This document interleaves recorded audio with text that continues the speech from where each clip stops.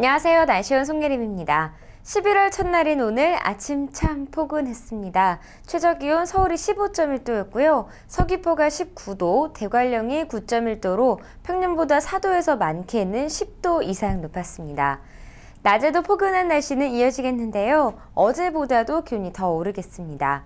오늘 최고 기온 서울 21도, 강릉 18도, 대전 17도고요. 전주가 19도, 부산은 21도 예상됩니다.